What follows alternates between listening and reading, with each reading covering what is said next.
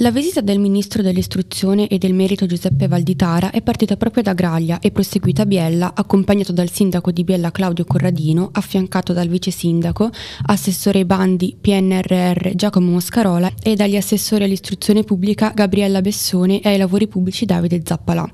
Alle scuole di Amicis e 25 aprile di Chiavazza, nei cantieri dei lavori avviati dal comune grazie ai fondi del PNR, con investimenti importanti che renderanno le scuole più sicure, più efficienti, più misura di studente e la città maggiormente attraente e appetibile in futuro. Sono stati investiti 417 mila euro puntando sulla didattica innovativa e sull'inclusione per favorire l'apprendimento dei bambini e per esaltare i talenti. L'idea di una scuola aperta, fonte di rigenerazione urbana, secondo l'idea degli amministratori e dei progettisti, è molto valida e mi piace, ha spiegato il ministro della pubblica istruzione del merito Giuseppe Valditara. La scuola bella, anche attenta ai colori, ai suoni, alla qualità dell'aria, alle luci, è una scuola che stimola molto lo studio e la concentrazione.